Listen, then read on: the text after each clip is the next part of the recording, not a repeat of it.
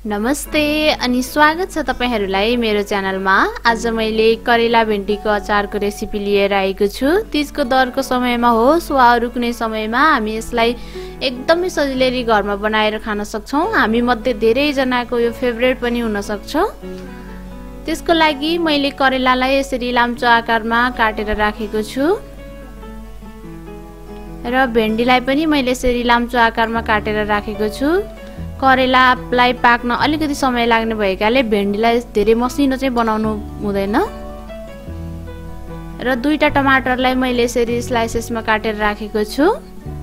सात आठवटा हरियो खुर्सानीलाई पनि मैले यसरी काटेर राखेको छु बिचबाट।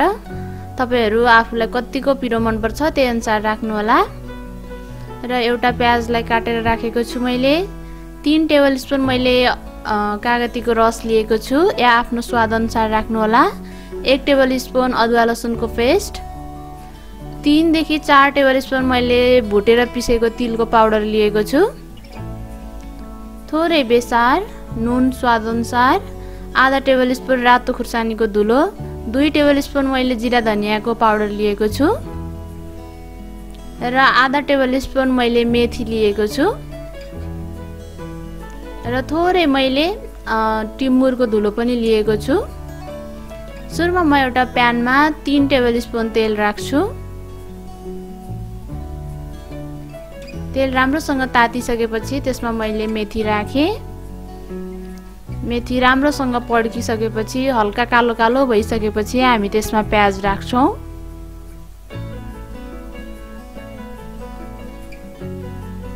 प्याज र हरियो खुर्सानी राखेर हामी हल्का ब्राउन नभइन्जेलसम्म यसलाई यसरी चलाउँदै पकाउँदै गर्छौँ।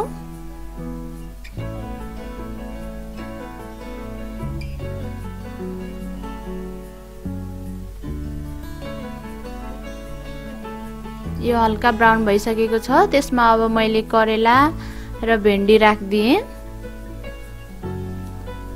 र यसलाई दुई मिनट जति यसरी बिस्तारै चलाउँदै पकाउँदै गर्नुहोला। त्यसमा मैले बेसार पनि राखिदिएँ। बेसार राखेर यसलाई चलाउनु होला।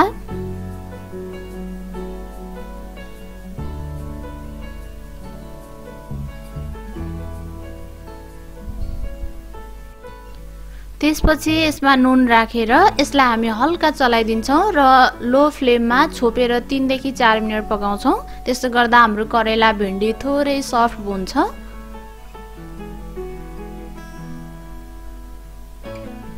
तिन चार मिनटपछि यो हल्का नरम भइसकेको छ। अब यसमा हामी अरू बाँकी मसलाहरू राख्छौँ।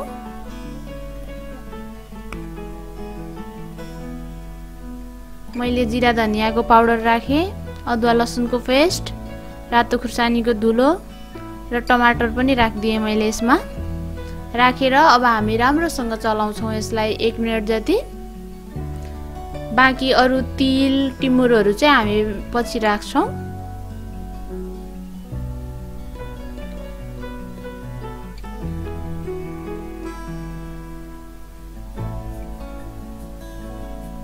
यसलाई एक मिनट जति चलाएर मैले छोपिदिएँ र तिन चार मिनट छोपेर पकाएपछि यसको कभर ओपन गरेँ मैले। यो धेरै सफ्ट भइसकेको छ।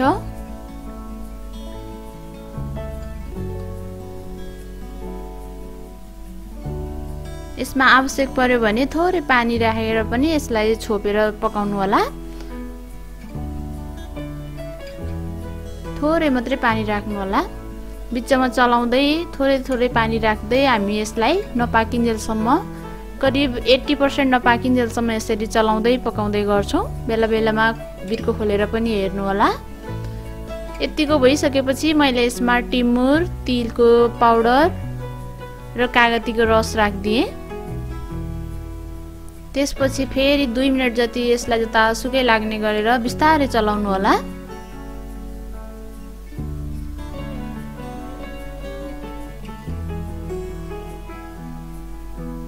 तिल र टिमुरलाई थोरै पकाउनको लागि मैले दुई टेबल स्पुन जति पानी राखिदिएँ यसमा र दुई मिनट जति यसलाई छोपेर पकाएँ। त्यसपछि हाम्रो करेला भिन्डीको अचार सर्भ गर्नको लागि रेडी भइसकेको छ। मैले यसरी यसलाई एउटा प्लेटमा सर्भ गरेँ। तपाईँहरू पनि यसरी बनाएर अवश्य खानुहोला र आफ्नो अनुभव कस्तो रह्यो त्यो पनि तल कमेन्ट बक्समा सेयर गर्न सक्नुहुन्छ। र मलाई विभिन्न सोसल मिडियाहरूमा पनि फलो गर्न सक्नुहुन्छ। अहिले नजिकै गरेको तिजको सबैजनालाई शुभकामना। यस्तै अरू भिडियोहरू हेर्नको लागि मेरो च्यानललाई सब्सक्राइब पनि गरिदिनु होला। Thank you for watching have a nice time